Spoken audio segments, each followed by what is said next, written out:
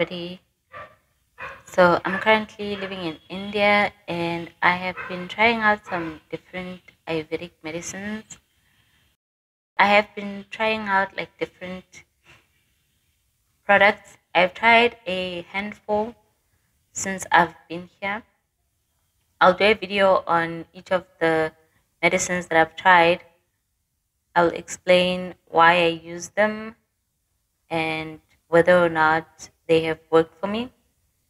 The first one that I will do a video on, which is this video obviously, is Kala Namak.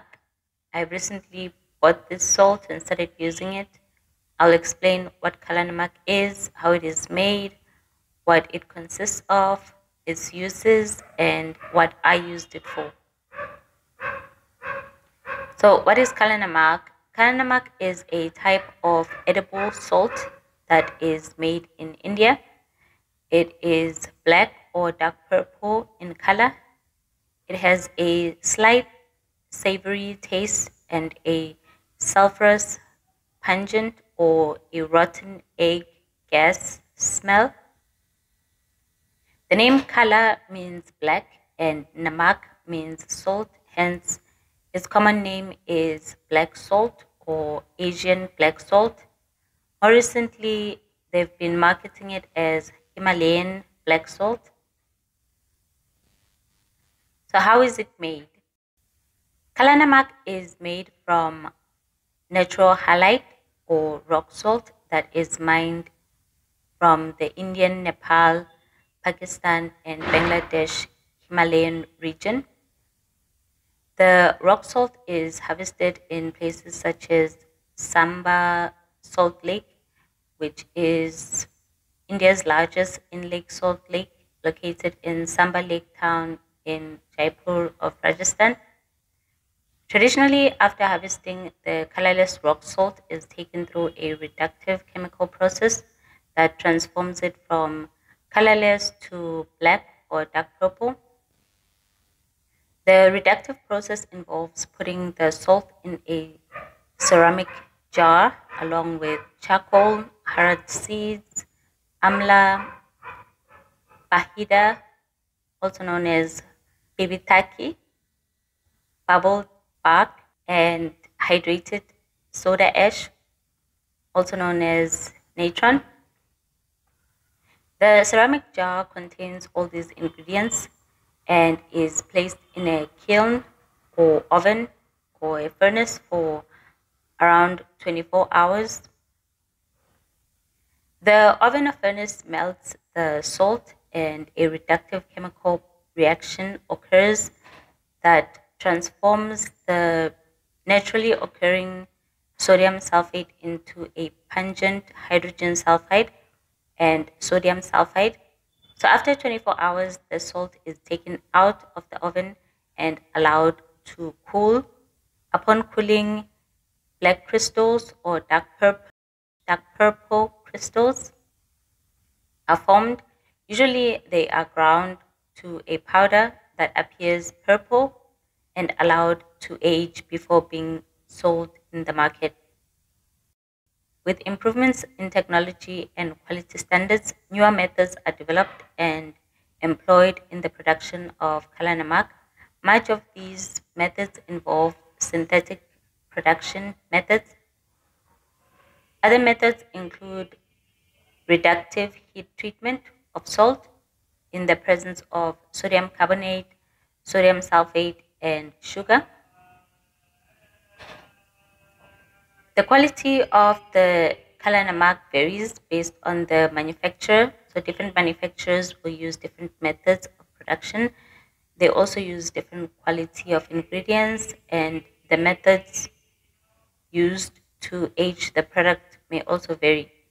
For example, this is an image that I got from saltworkconsultants.com, their website It shows how kalanamak is made by the manufacturer of Asian bamboo salt.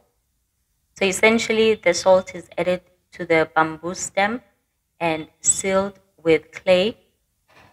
The sealed bamboo stem are then packed in the metal cage and placed in the kiln oven. After cooling and crushing, the result is the purple salt seen here on the side.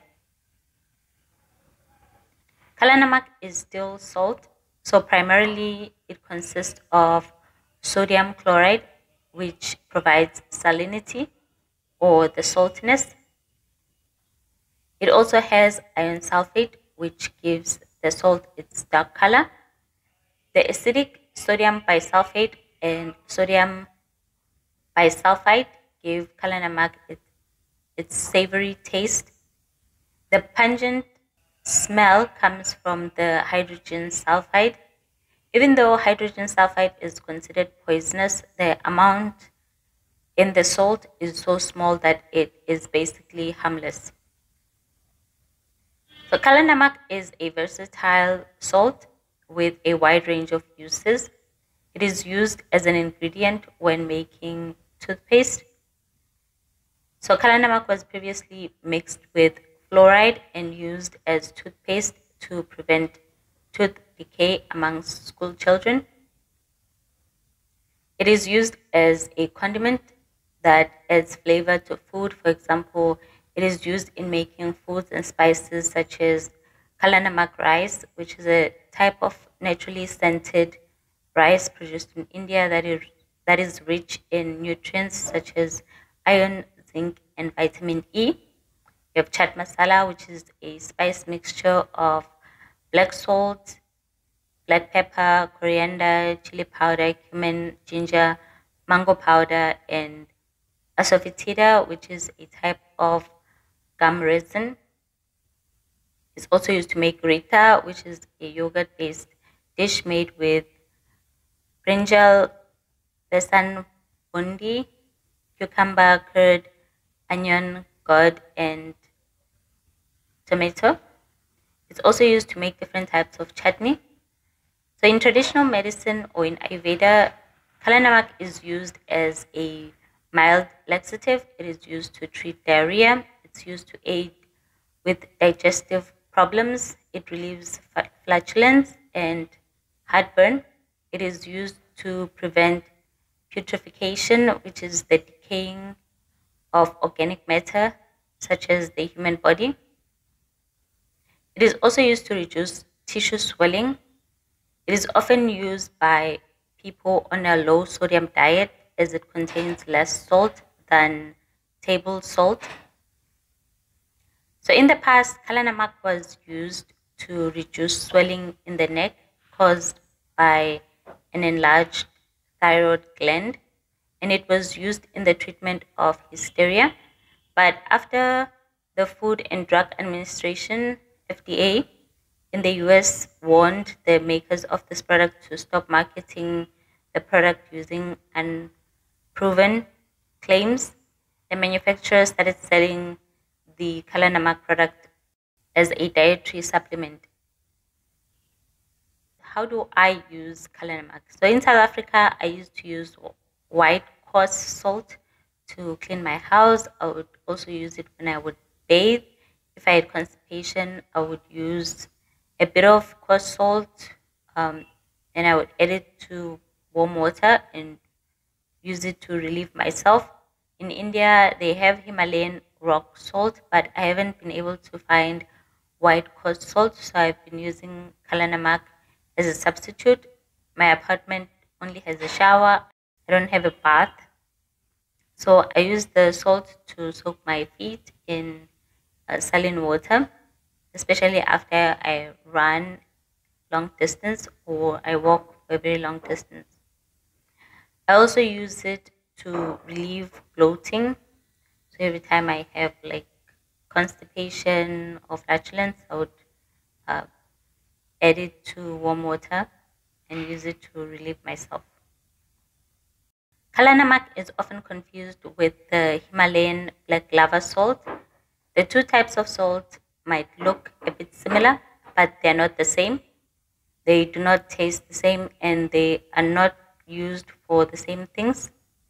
Hawaiian black lava salt is sea salt that is blended with activated charcoal from coconut shells and it is kiln or furnace.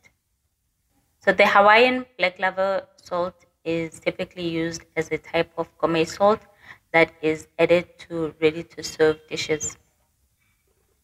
Don't forget you can access this article and many more on the imithiyesintu.co.za website.